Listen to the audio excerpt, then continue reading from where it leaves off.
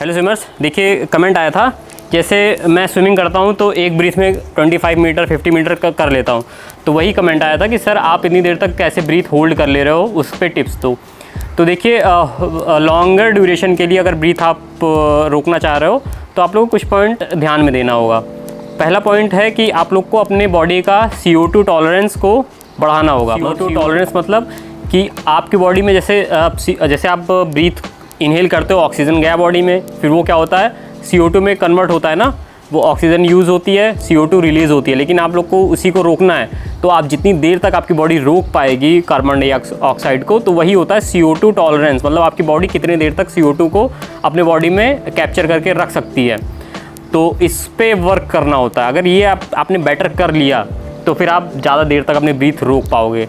और इसको रोकने के लिए आप लोग को क्या करना होगा, उसके बारे में बात करते हैं। तो उसके लिए आप लोग को क्या करना होगा, जैसे आपको बेसिक स्विमिंग आ गई है, आप सेलो साइड में रहो और सेलो साइड शैलो साइड से ही सेलो साइड की तरफ़ ही स्विमिंग करो। मतलब उधर ही स्विमिंग करना है, आप लोग को डीप साइड नहीं आना है। तो फिर आप इजीली इस चीज़ पे अच्छा पकड़ बना लोगे। उसमें क्या करना है, आप लोग को एक बार ब्रीथ अपने लंग्स में अच्छे से भर लेनी है।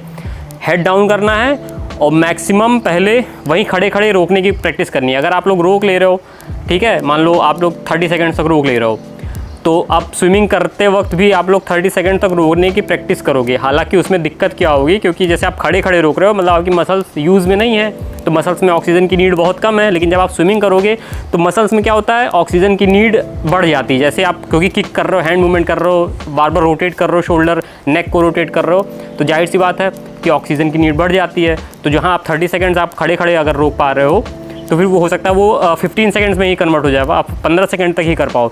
लेकिन करना है, उस चीज़ को आप लोग को अपने लिमिट को पुश करना है कि आप कितनी देर तक जा सकते हो स्विमिंग करते हुए एक बार, एक ब्रीथ में लेकर।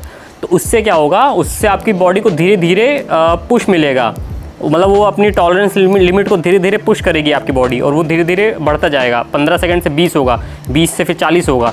फिर इस तरह आप लोग एक ब्रीथ में कवर कर लोगे अब ट्वेंटी फाइव मीटर या फिफ्टी मीटर जो भी आप लोग टारगेट कर रहे हो वो। और दूसरा चीज़ ये ध्यान देना है कि जैसे मैं हमेशा बताता हूँ कि वाटर बॉटल लेना है अपनी बॉडी को हाइड्रेटेड रखना है। जैसे पानी पीते हो ठीक है? पानी पीते हो तो क्या है? पानी पानी एच है उसमें भी ऑक्सीजन है। तो आपकी बॉडी में अगर जा रहा है तो ऑक्सीजन लेके जा रहा है पानी। तो फिर आपकी जो मसल्स की ऑक्सीजन को ज़्यादा देर तक होल्ड करने में वो आपकी हेल्प करेगी। अगर आपकी बॉडी हाइड्रेटेड है तो। तो फिर हमेशा जब भी आप स्विमिंग में कोई भी कोई भी प्रैक्टिस कर रहे हो, मायने नहीं रखता कि आप एकदम हाई इंटेंसिटी की वर्कआउट कर रहे हो या लो इंटेंसिटी की वर्कआउट कर रहे हो।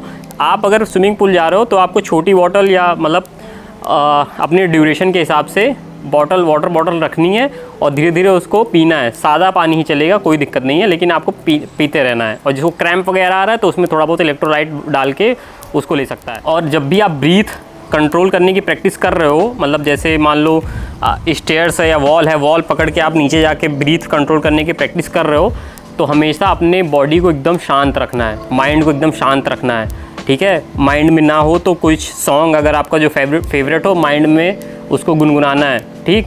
या फिर काउंट करना है फिफ्टी से लेके वन तक आप रिवर्स काउंटिंग कर सकते हो। तो ये सब मेथड होते हैं अपने, क्योंकि अगर माइंड आपका डाइवर्ट हो रहा है मतलब आपका माइंड इस पर नहीं जा रहा है कि अरे यार दम घुट रहा है, ये है, वो है, अगर इस पर नहीं जा रहा है माइंड आपका, और माइंड आपका डाइवर्ट होकर किसी सॉन्ग पे जा रहा है, किसी जोक पे जा रहा है, किसी, आपने रील देखी, किसी रील पे घूम रहा है तो माइंड अगर, माइंड को आप, आपने अगर डाइवर्ट कर दिया तो फिर वो भी आपको हेल्प करता है। तो ये सब कुछ ट्रिक हैं, कुछ टिप्स हैं, इसको आप ऐसा मान सकते हो, जो आपकी ब्रीथ होल्डिंग कैपेसिटी को बढ़ा देगा। और और फिर आप अपनी स्विमिंग और अच्छे तरीके से कर लोगे। ठीक है? तो आई होप कि ये चीज़ आप लोग को अच्छे से समझ में आ गई होगी कि अब किस तरह आपको बढ़ाना है। और आपने सारी वीडियोस भी साइड साइड में देख ली होंगे, जो जो मैं आपको बताने जा रहा था। आपको अगर वीडियो पसंद आई हो तो इसको लाइक ज़रूर कर दीजिएगा। जैसे आप लोग ज़्यादा लाइक करोगे तो फिर ये ज़्यादा लोगों तक पहुँच पाएगा। ठीक है? यूट्यूब ज़्यादा रिकमेंड करेगा इसको, इस वीडियो को। तो इसी तरह आप लोग जो भी स्विमिंग वीडियो मेरी अच्छी लगती है, उसको लाइक ज़रूर करा करिए शेयर भी करा करिए एंड सब्सक्राइब ज़रूर करा करिए। तो मिलते हैं नेक्स्ट वीडियो में। Thank you bye